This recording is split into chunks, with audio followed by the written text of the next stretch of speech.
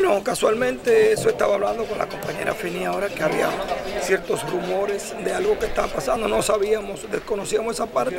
Lo que sí te digo es que debemos ser siempre cuidadosos y somos personas llamados a defender al pueblo de San Francisco de Macorís. Y cada cual, por ejemplo, en mi persona, al igual que la compañera, lo que pertenecemos a comisiones, no pertenecemos a ninguna comisión donde se mueva un peso. Somos presidente de la comisión de deporte, presidente de la comisión de bomberos y presidente de la comisión de mataderos que en casi en todos los momentos lo que hemos tenido que quizás aportar hasta, hasta, lo nuestro para las personas que van para allá.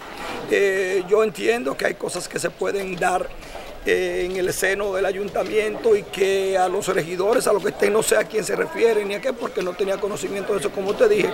pero sí debemos ser cuidadosos y no quizás enlodar el nombre de cualquier compañero y cualquier persona que no tenga nada que ver en esas situaciones que se puedan dar dentro del ayuntamiento. Debo decirte que me estoy enterando ahora y no tendría que escuchar el audio, tendría que ver qué es lo que se dice y en esa parte pues ya en lo más adelante podríamos emitir nuestro juicio porque hasta ahora no tengo el conocimiento de a qué se refiere eh, la conversación porque